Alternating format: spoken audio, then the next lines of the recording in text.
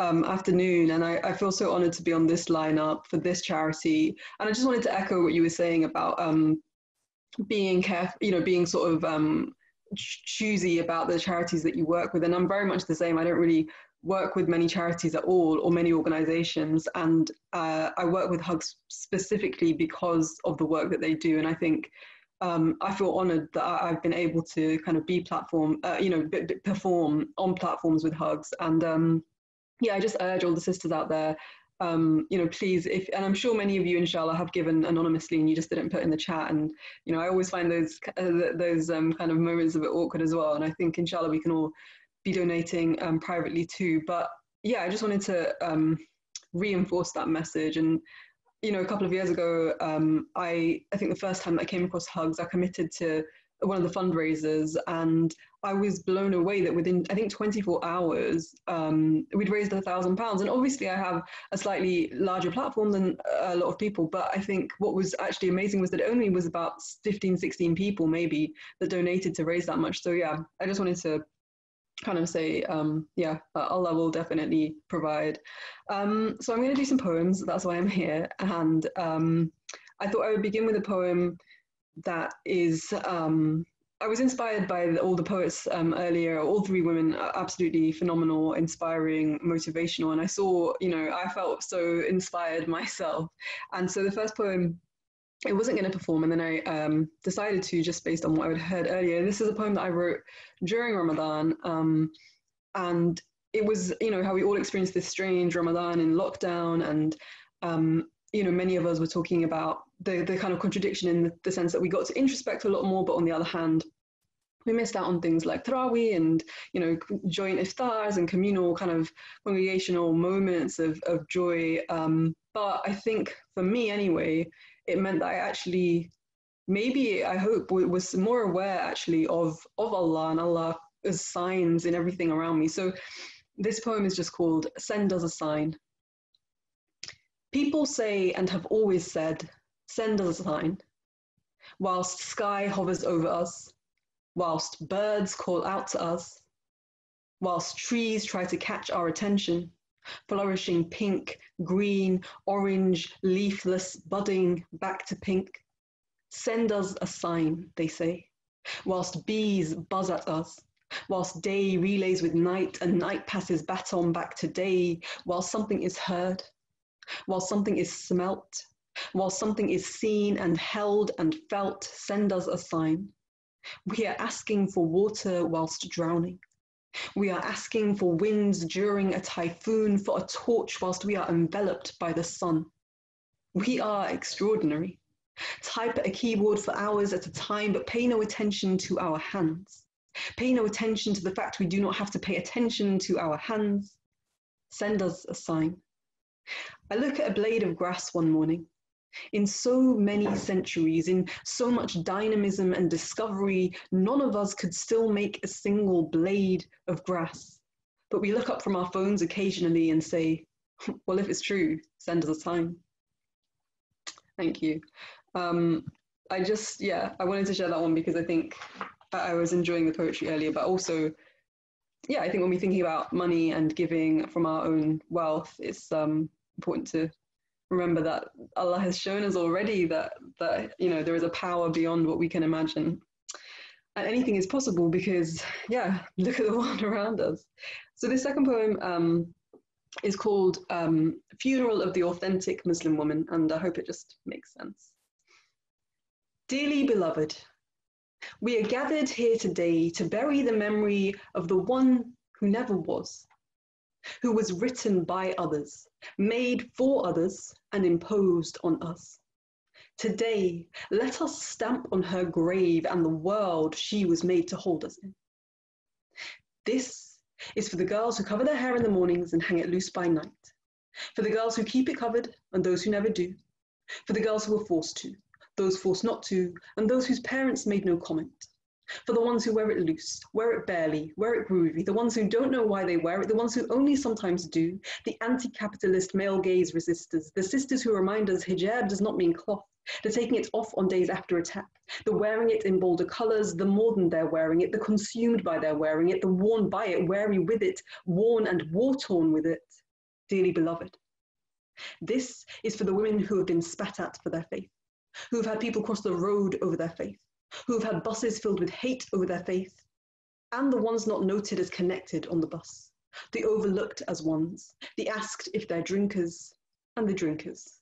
Those who do what the boys do and better, who denounce the boys, who are the boys, are better than the boys, who love the boys, are loved by the boys, wish they had the freedom of the boys, steal the freedom of their boys, stand for the freedom of the boys, don't vilify the boys, are vilified by the boys, and still stand for their rights. Dearly beloved. This is for the girls who learnt their bodies meant shame before they learnt anything else. For the girls who shave off the shame and the girls who own it for the secret relationships, the secret bodies, the embodied secrets, the silent babies, the never born, the accidentally had, the quickly covered up, the unjustly touched, the unafraid, the naked skin, the hypocritical kiss, the closed legs, the afraid to touch, and the never touched. Dearly beloved. This is for the married and the unmarried the never married and the soon to be married, the unmarriageable, the second marriage, the anti marriage, the marriage conversation, the wedding day dream, the one for our parents, the runaway bride, the marriage mistake, and the happy divorce. Dearly beloved, this is for the sisters who wait consistently at dawn and those who never can, for the prayer sharing and the sleep defying, the sometimes waking and the sleepy, for the ones who stum- stumble over the words, for the ones who stumble over the words, for the ones who know the entire book and the ones who struggle with it. This is for the ones who get five times a day, the ones who get five minutes a night, the ones whose five year old brings them back to the book, the five pound translation, the translator, the educator, the student, and the mum, dearly beloved. This is for the quiet girls and the ones who speak too much, the spoken for and the spoken over, the girls who speak for the girls, the girls who speak wrongly for the girls, who think they can speak for the girls, and the girls who don't speak. Are sick of speaking, already spoke, spent too long woke, whose words are lost, whose voice is hoarse, and those still shouting. We were always here, and she never was. So when two hands offer us either victimhood or the total refusal of it, may we find comfort in our own hands May we find comfort in the space between our hands where cameras never flash and stories do not weave themselves, for we were always here and she never was. So today, let us stamp on her grave and the world she was made to hold us in. So, yeah, that poem came from a place, I suppose, of feeling like we're always told by others that we're not authentically Muslim, whether that's the politicians, you're not, you know, a Muslim woman looks like this, whether it's uh, the media, a Muslim woman looks like this, or whether it is us to one another, telling one another what a Muslim woman looks like, whether it's the brothers, whether it is the sisters. Um, and I think Allah is so much more merciful than any of us. And I think we have to sometimes remember that what Allah counts as a Muslim woman is, is often not what we would count as a Muslim woman. And perhaps that's something for us to reflect on the harshness of our own souls. Um, Oh yes, this poem, I can see somebody asking, yeah, this poem is in my collection called um, Post-Colonial Banter. No questions about the cover, no you can. Um, yeah, so uh, the, the, all the poems that I'm reading, apart from that first one, are in that poem, uh, in that collection.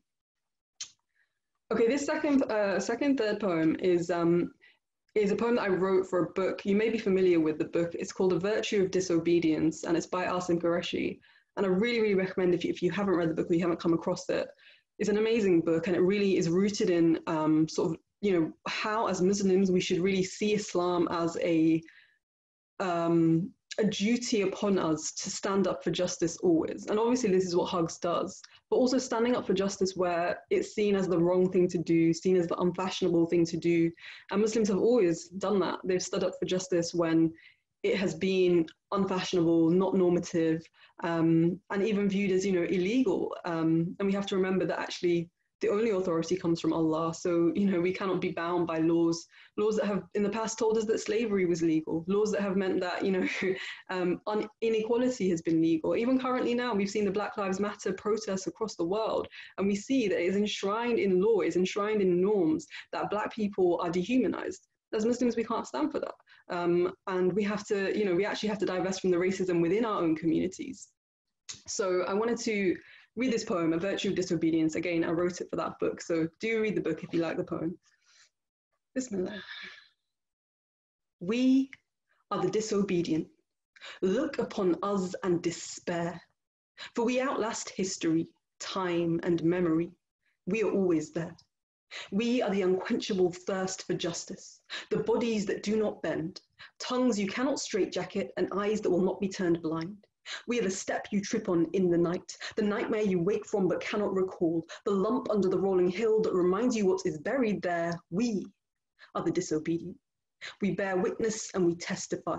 We love despite the lie that we are not worthy. We hold despite being told we should hide. Yes, we are the disobedient who refuse to die. For bodies without eulogies will never remain in their graves. We are the ghosts of the unmourned and the spirit of the never grieved. We are the original traitors to the tireless tyrant. We are Muhammad, we are Malcolm, we are Moses and Assata, we are Toussaint and Bashani, we are Rosa and Rabani, we are the disobedient. Truth speakers with tongues of fire, knowledge seekers who provoke your ire, mouths always moist from sincere prayer, we are hearts beating for the truth. Not like fluttering birds in cages, but like the earth in her final convulsions, like mountains when they scatter to dust. We dismantle, uproot, expose. We are the disobedient.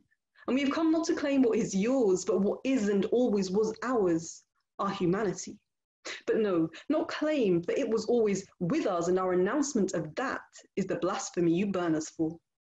But there's a reason you mustn't play with fire, because the flames are not bound by only your aims. If you burn our bodies in the morning, the fire will be licking your heels that night. Do you feel secure then? When we are bound not by law, but justice, loyal not to pen mark on paper, but truth we are unconquerable and unmanageable because you can take what you want if all you want is to take. We are your greatest fear. Fearless, loyal not even to life. There is no bargain to be made then, for disruption is our only security. In a world which says security is ensured only through our oppression, what basis has such authority to be obeyed? No.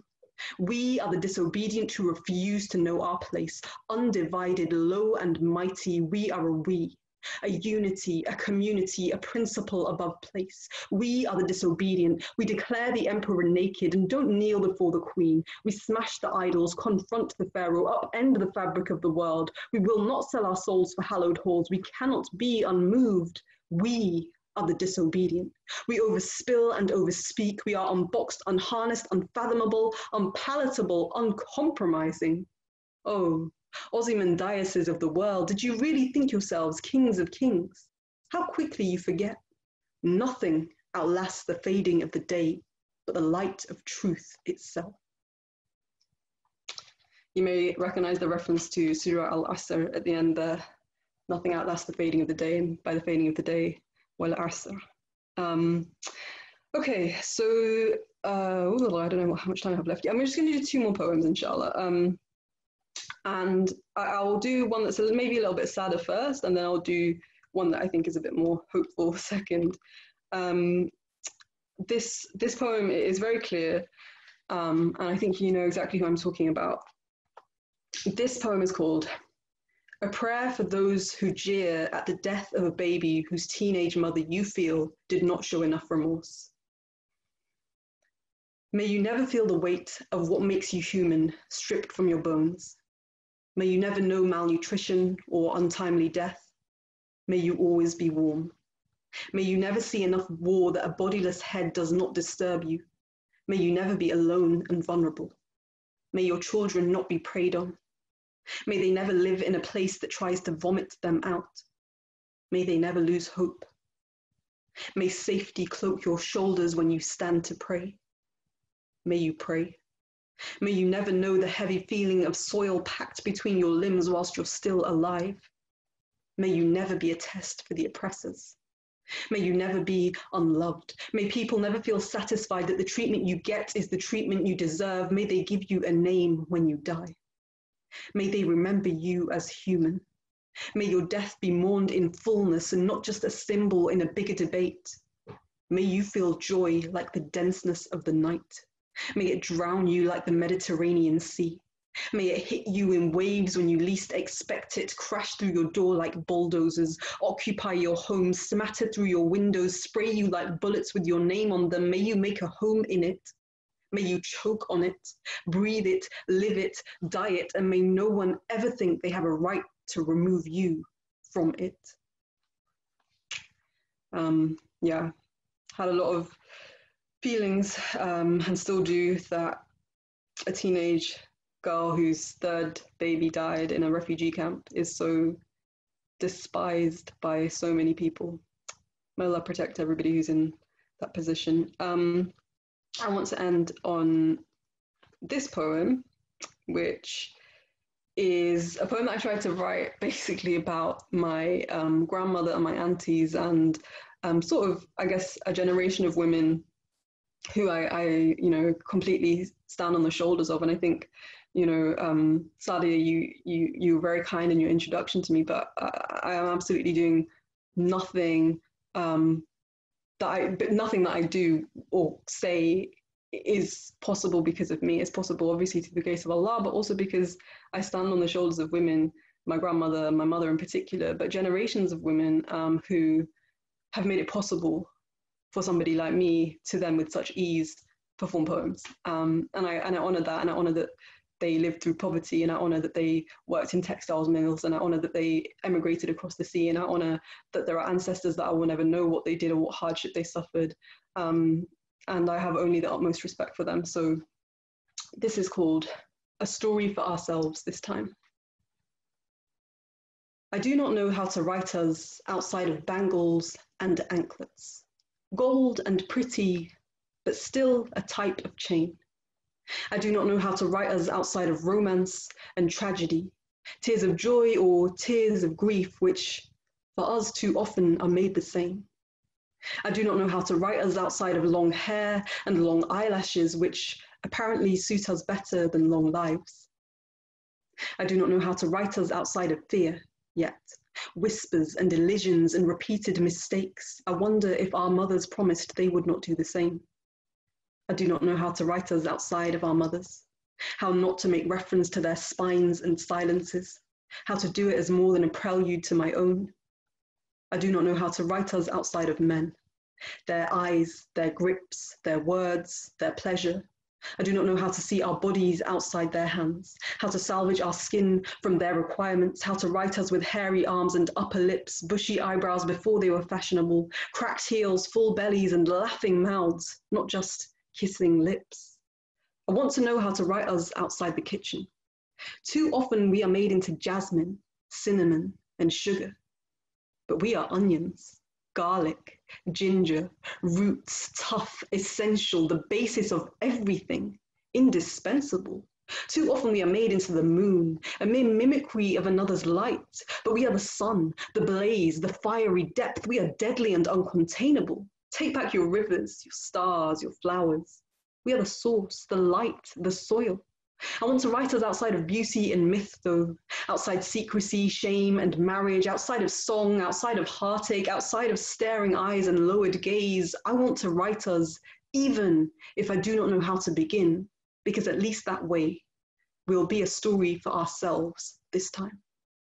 And I hope that's the message that I can leave you on. May you all be stories for yourselves. We are stories for ourselves, and we shouldn't spend our lives, waste our lives um, trying to disprove other people's stories about us. Um, Jazakallah for your time, for listening, and um, may Allah reward you all for, for your donations and your support of HHUGS and your time this afternoon. And may He reward all the organizers, Ameen, and may He reward everybody who's behind the scenes and everybody who's ever volunteered or worked or spent time or money um, on HHUGS. And, and may Allah also aid all the families who HHUGS support and may He tear down the apparatus of a violent state and the violence across the world. Ameen.